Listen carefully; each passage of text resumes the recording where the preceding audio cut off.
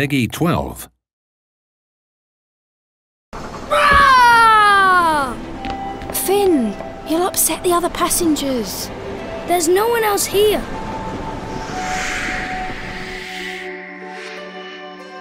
What happened to the train? You're weird. Come on. I need my big sister. Just until we fixed everything.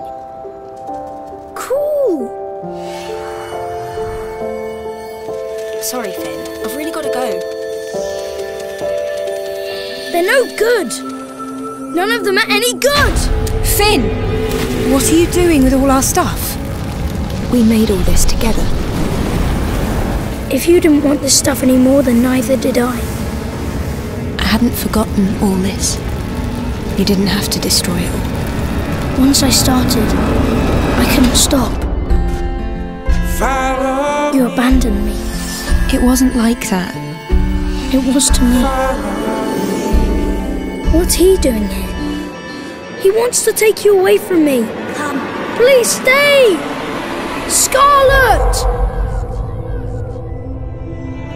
I will meet you at the crossing.